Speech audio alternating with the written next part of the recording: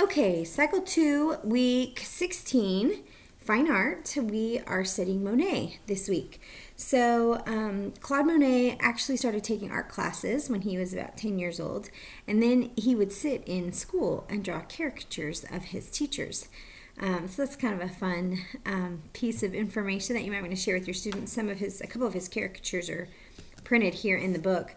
Um, but Monet basically, uh, he and some other painters kind of kicked off the Impressionist movement, and they would paint what's called plein air, which is French for outside air or open air. And so they would go outside and they would paint, you know, a landscape or a piece of what they see. But they painted it with not as much detail as um, some of the realistic painters before them.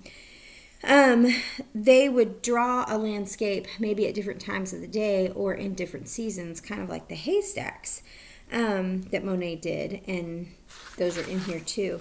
Um, a fun integration for science is that you could combine plein air painting with um, nature journaling. And so you could have your nature journaling and then the drawing of what you see and combine both of those for a fun art and science integration. Um, so the project that we are going to do, we're going to be using tempera paint. And I think what I'm going to do is have a table set outside with the paint palettes and the different paints and the paint brushes and stuff. Um, and we're also going to have clipboards. So the kids will each have a clipboard with some more of this mixed media paper on it. And so the youngest students, you can probably, you know, keep them together in a group and pick a spot um, and then just let them draw, you know, let them paint what they see. Um, for just a little bit more experience than that, you could have them um, kind of squint their eyes and see what are the major colors, shadows, lights, shapes, things like that that they see with, when their eyes are squinted and just barely sketch that on a piece of paper or begin painting that. Um, you want to look back and forth between what you see and what you're painting. Um, I think sometimes we forget to incorporate some of the skill part that goes into painting or into sketching.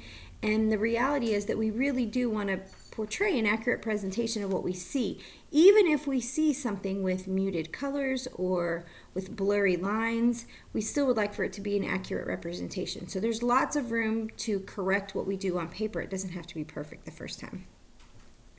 Um, for some of the older kids, you might want to give them a little bit more instruction. Um, her instructions say paint very short lines or stretched out dots, but don't use long sweeping brush strokes um, dab on the paint so it makes it slightly three-dimensional and then keep the painting a little bit blurry by not defining any of the lines or by outlining any of the things that you're drawing.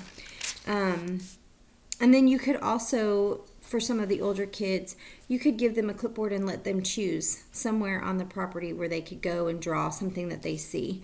Um, some of the boys might rather draw the playground, make it into a fort or a castle. Some of them might um, prefer the garden or the volleyball um, courts. So anything, but just try to have them recreate as best they can that impressionist style. And then um, for her things, her suggestions to do at home, um, she said to try the same landscape with a different medium. So, um, you know, look at the landscape that they painted while they were at CC, and then during the week have them recreate that same thing with colors or with crayons or with colored pencils or just, you know, regular pencil. Um, and then also, they could just explore some more of Monet's paintings and try to recreate it for themselves. So, that is Monet, and that's what we will be doing for week 16.